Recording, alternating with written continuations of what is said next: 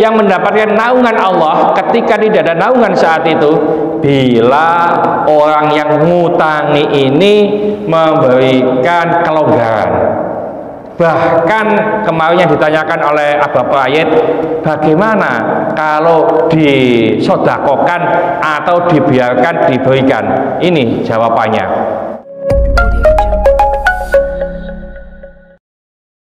Assalamualaikum warahmatullahi wabarakatuh. Si A atau saya ya Hutang apa-apa ayat satu juta. Terus gak nyawa Besok ditagih Ya. Pasti nanti saya harus bayar. Tentunya bayarnya itu udah satu juta. Ya ngikuti inflasi lah gampangannya gitu pasti lebih dari satu juta di sana ya. Dan pasti dibayar Pak. pasti. Dari mana membayarnya itu? Dari pahala saya. Pahala saya diambil untuk membayar hutang kepada apa Bayin ya jadi satu juta bisa jadi pahala saya satu juta setengah dikasihkan oleh Abah Bayin tapi kalau Abah Ayat mengatakan begini, bah wong niku kepengin nyawa atau gak kepengin nyawa?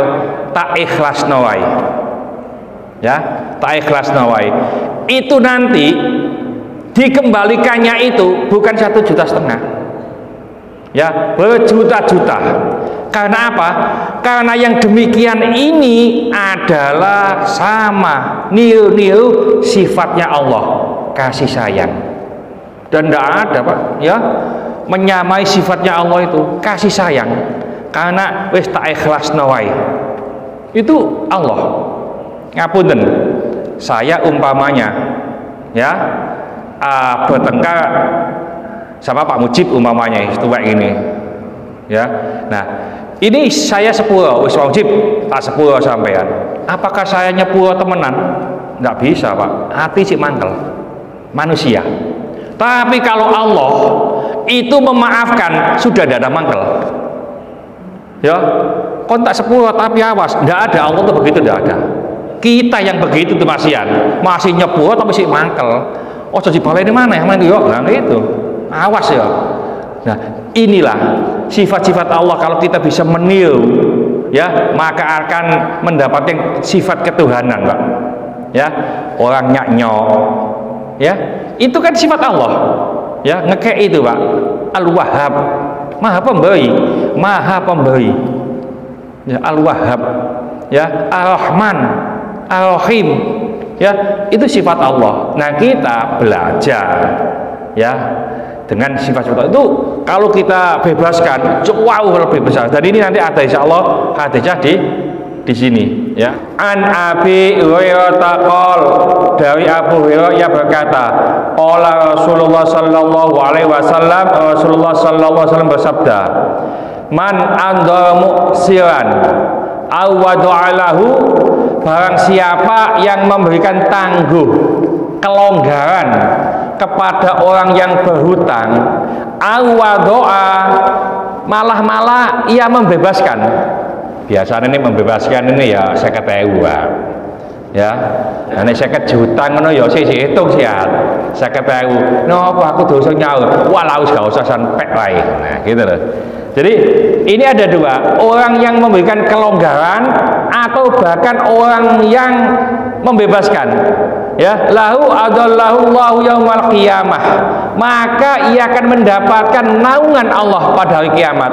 Tahta dhilli di naungan di bawah arsnya Allah. Yaumaladilla iladiluhu seketika hari tidak ada naungan selain naungan Allah. Jadi ada tujuh golongan yang mendapatkan naungan Allah ketika hari kiamat dan saat itu tidak ada naungan kecuali hanya naungan Allah ya. Itu kalau hari kiamat itu nanti di padang mahsyar Pak. Kita dalam keadaan telanjang kita tidak pakai sepatu sandal matahari dekat dengan kita dan apa? Keinget kita itu sesuai dengan amalan kita. Ono sisa dengkul ono sisa dini ada yang kita tenggelam ya. Itu kita rasakan masing-masing dan salah satu ada lagi yang mendapatkan naungan Allah ketika tidak ada naungan saat itu bila orang yang ngutangi ini memberikan kelonggaran. Bahkan kemarin yang ditanyakan oleh Abah Prayet bagaimana kalau disodakokan atau dibiarkan diberikan? Ini jawabannya ya. Jadi tidak hanya memberikan apa hutang satu juta kembali satu juta setengah nanti di akhirat. Tidak tapi ini dapat naungan pak. Jauh lebih besar Mudah-mudahan sedikit ini dibarengi hidayah dari Allah Subhanahu wa taala. Mudah-mudahan segala hajat kita dikabulkan Allah, segala kesulitan kita dibantu Allah. Mudah-mudahan anak-anak kita menjadi anak soleh soleha, taat kepada Allah, patuh dan nurut kepada kedua orang tua. Ya mengasih keturunan, mudah-mudahan Allah memberikan keturunan yang soleh soleha. Ya mengasih jodoh, mudah-mudahan Allah memberikan jodoh yang soleh soleha. Mudah-mudahan di antara kita, keluarga kita, handetolan kita, tetangga-tetangga kita yang saat ini sedang sakit baik di rumah sakit sakit maupun di kediaman. Mudah-mudahan Allah cepat mengangkat penyakitnya, menyembuhkan penyakitnya dan mudah-mudahan Allah memberikan kesabaran kepada yang sakit dan dengan kesabaran ini mudah-mudahan Allah mengangkat seluruh dosa-dosanya dan mudah-mudahan Allah mengampuni dosa-dosanya orang yang mendolimi kita. Al-Fatihah. Bismillahirrahmanirrahim. Wal asri innal insana lafi khusrin illa illa alladziina amanu wa 'amilus solihati wa tawassaw bil haqqi wa tawassaw bis sabr.